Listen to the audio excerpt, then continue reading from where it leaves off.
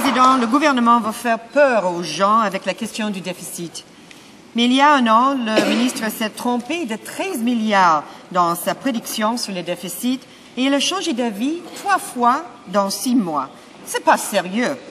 Avant de couper dans les programmes et les services, pourquoi le ministre des Finances ne commence pas par mettre de l'ordre dans ses livres et donner les, les, vrais chiffres à la population? Pourquoi il ne le fait pas?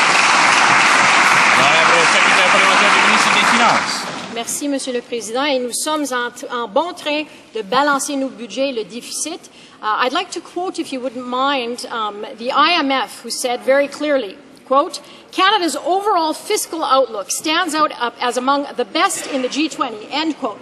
That is proof that our economic action plan did its job. It's proof that our next phase of our economic action plan has some wherewithal to deal with the problems that we see here in Canada. And I would hope that the opposition members would side with us and vote for our budget. The honourable member for Parkdale, High Park.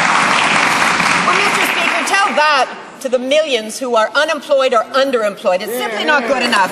The government's plan for billions in corporate tax cuts means only one thing cuts to programs and services that Canadians rely on.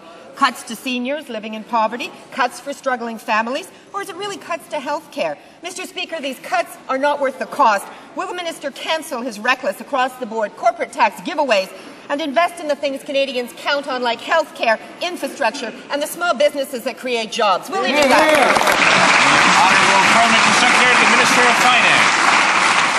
In March, we presented the next phase of Canada's economic, action plan. It was a positive plan to keep taxes low. That's what Canadians were asking for.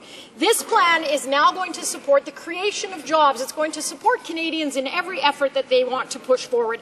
And almost every organization has supported the fact that we want to lower those corporate tax, uh, taxes so that corporations corporations can actually produce those jobs. If those taxes go up as proposed by the NDP, consumers will pay and workers will pay. We will not do that to Canadian public.